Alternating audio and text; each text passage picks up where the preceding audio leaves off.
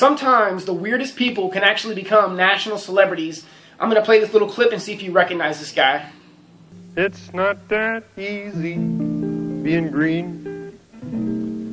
Having to spend each day the color of the leaves. When I think it could be nicer being red or yellow or gold. Okay, so Kermit the Frog, right? Ribbit, ribbit. It's crazy that even to think, right? This guy, first off, he's a frog. Nobody likes frogs, you know what I'm saying? They're gross, whatever. Okay, number two, he eats flies. all right, we all know flies are disgusting. Nobody wants to mess around with a, nobody wants a friend or something that eats flies, right? And number three, I mean, the guy dates a pig, you know? I mean, like, he's a green frog, but yet he's dating like a pink pig. I mean, it's interracial relations, all this stuff that's, you know, people got their opinions about and stuff like that, right?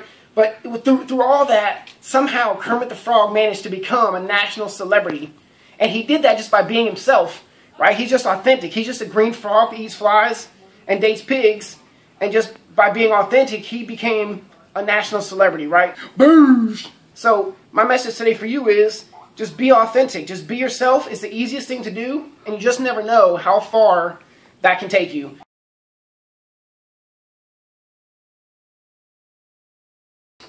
Where do you come up with this shit? I don't know. I just saw a billboard this morning.